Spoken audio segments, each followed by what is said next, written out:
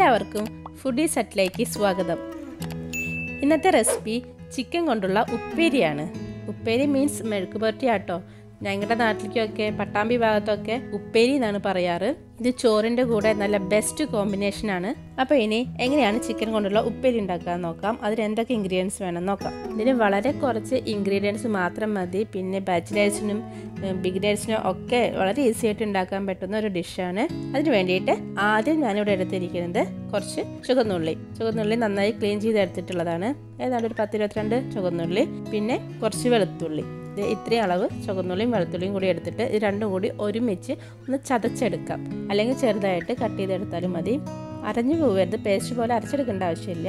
ഇനി ഉപ്പേരി ഉണ്ടാക്കാൻ വേണ്ടിയിട്ടുള്ള ഒരു പാൻ അടുപ്പത്തേക്ക് വയ്ക്കാം ഇപ്പോൾ പാൻ ചൂടായിട്ടുണ്ട്. ഇനി ഇതിലേക്ക് നാല് ടേബിൾ സ്പൂൺ വെളിച്ചെണ്ണ. ഇതൊരു നാടൻ ഡിഷാണ്. അതുകൊണ്ട് വെളിച്ചെണ്ണ തന്നെ ഉപയോഗിക്കുന്നതാണ് ബെറ്റർ ഇപ്പോൾ എണ്ണ ചൂടായി വന്നിട്ടുണ്ട്. ഇനി ഇതിലേക്ക് കടുക് ഇട്ട് കൊടുക്കാം. കാ ടീസ്പൂൺ കടുക്. കടുകൊക്കെ ഇതിപ്പോൾ നന്നായിട്ട് പൊട്ടിയിട്ടുണ്ട്. ഇനി ഇതിലേക്ക് രണ്ട് മൂന്ന് തണ്ട് കറിവേപ്പില. രണ്ട് മൂന്ന് വട്ടൽമുളക് പിന്നെ നേരത്തെ നമ്മൾ ചതച്ച് വെച്ചിട്ടുള്ള ഉള്ളിയും വെളുത്തുള്ളിയും.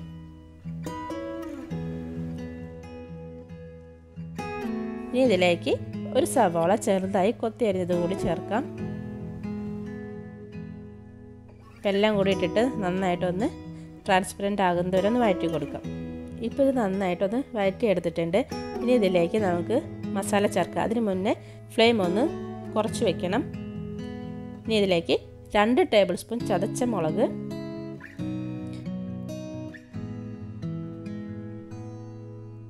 ഒരു table spoon Kashmiri chilli powder Kashmiri chilli powder ആയതുകൊണ്ടാണ് ഇവിടെ ഒരു ടേബിൾ സ്പൂൺ എടുത്തത്. ഇനി നിങ്ങൾ നോർമൽ മുളക് പൊടിയാണ് ഉപയോഗിക്കുന്നതെങ്കിൽ അര ടേബിൾ സ്പൂൺ എടുത്താൽ മതി.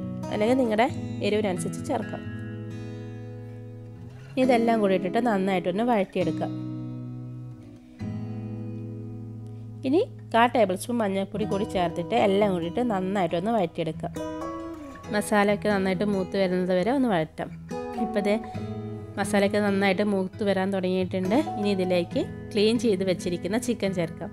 ഞാനിപ്പോൾ ഇവിടെ ബോണോട് കൂടിയ ചിക്കൻ ചെറിയ പീസാക്കി കട്ട് ചെയ്തെടുത്തിട്ടുള്ളതാണ്. നമ്മൾ കറിക്കൊക്കെ എടുക്കുന്നതിനേക്കാൾ ചെറു ഒന്നും കൂടി ചെറുതാക്കി എടുത്താൽ മതി. അതുകൂടി ചേർത്ത് കൊടുത്തിട്ട് നന്നായിട്ടൊന്ന് ഇളക്കി എല്ലാം കൂടി യോജിപ്പിക്കാം.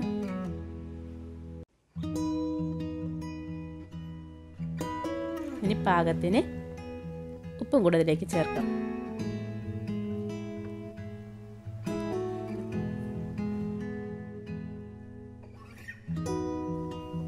ഇനിയിപ്പോൾ നമുക്ക് അടച്ചു വെച്ച് വേവിക്കാം. ആദ്യത്തെ ഒരു അഞ്ച് മിനിറ്റ് മീഡിയം ഫ്ലെയിമിൽ വെച്ചിട്ട് ഒന്ന് കുക്ക് ചെയ്തെടുക്കണം.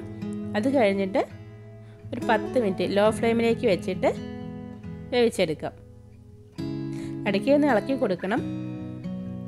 ഇനി ഇതിലേക്ക് എക്സ്ട്രാ വെള്ളമൊന്നും ഒഴിക്കേണ്ട ആവശ്യമില്ല.